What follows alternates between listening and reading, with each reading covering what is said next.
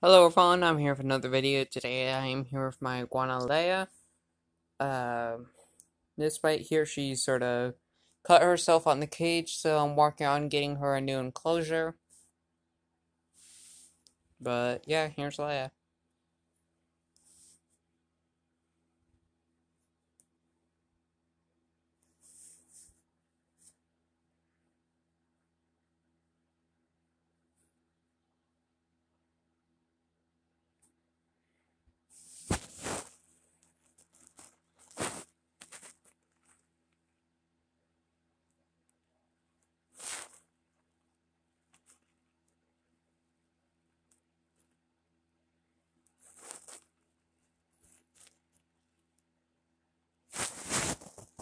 I'm just playing around with the camera, see what it looks like.